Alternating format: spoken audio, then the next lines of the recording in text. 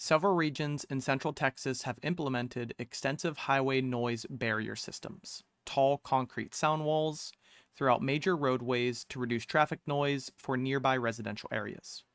To assess the reactions of bat populations at locations across the hill country to noise barrier construction and other land use modifications, this person ob- uh, observed bat populations consisting of 23 species, including this one and this one employing the Bat Population Health Score, the BPHS, on which a low rating corresponds to low population health. The scientists found that the noise barrier construction more negatively affects bats than does land development for uses such as commercial or agricultural activity.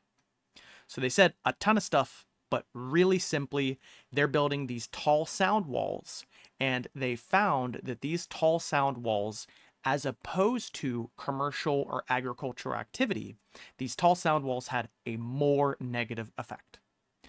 But when we read our question, we're always looking for this to support or challenge or undermine. We do see that we want to challenge this finding. So, what we actually want to read in our answer is instances where commercial or agricultural activity more negatively affected the bats than did the sound walls. In A, bat populations at Pecan Cross, a location with a high percentage of developed land and noise barrier coverage. Well, that's a huge red flag because the whole goal is developed land versus the sound walls.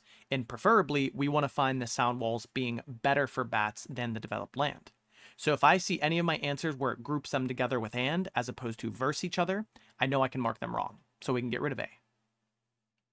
In B, bat populations at Oak Valley, a location with low percentage of developed land and high percentage of the sound walls, had a higher rating than did the bat populations at Mesa Trail, a location with a high percentage of developed land and a low percentage of the sound walls. So this outlines exactly what we were looking for in our answer to challenge that sound walls are worse for bats. We wanted to find a location where there's a ton of sound walls, but the bats are doing great, as opposed to uh, where there's a ton of developed land and the bats are doing worse. So B is going to be our perfect answer here. In C, bat populations at Willow Bend, a location with a low percentage of developed land and a high percentage of the sound walls, had a lower rating. So I don't even need to finish reading. This would be like the antonym to our answer.